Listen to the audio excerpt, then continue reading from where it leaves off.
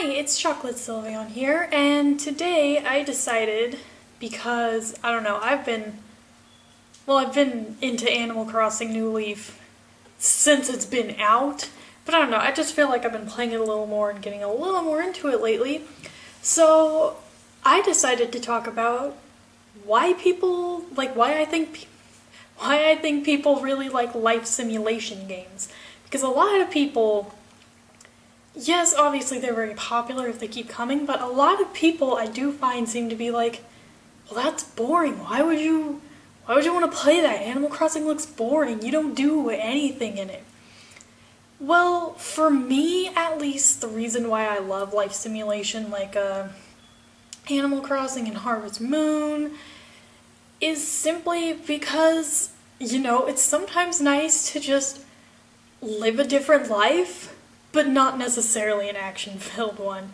Don't get me wrong, you know, we love our, our Pokemon and our Fire Emblem and Mario and Zelda and all that good stuff, but sometimes it's nice to just live an actual life, but that's different from your own, like Harvest Moon.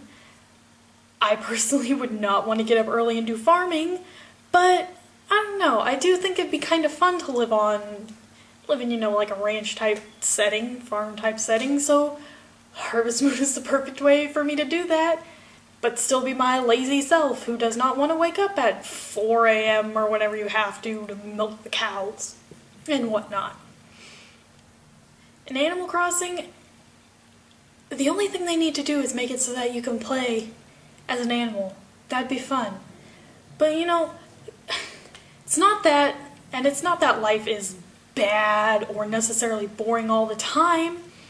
But you know, it's just it's like playing any other video game. It's fun to just live a different life, except this is technically your life. These games are more dependent on choices you make. And I mean, yes, you you make choices in other games, but for the most part, the story's set out in what's going to happen and what you have to do. Animal Crossing, you don't no game starts the same in New Leaf. You have different villagers and a different town setup. So, you know, you get new villagers, you decorate the town how you want, you decorate your house how you want. You can build it, or if you don't want to build it up, just get it to the certain point you want it. Don't pay off any more debt.